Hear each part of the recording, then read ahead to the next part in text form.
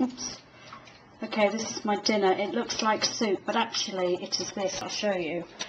Um, it's that. So all you do is add milk and a little bit of butter if you want to and water. But I've put some frozen veg in there. So that'll stir up and thicken up and um, it'll be really nice and I'll show you the results when it's done so bear with me and I'll do another video in a few minutes time. Bye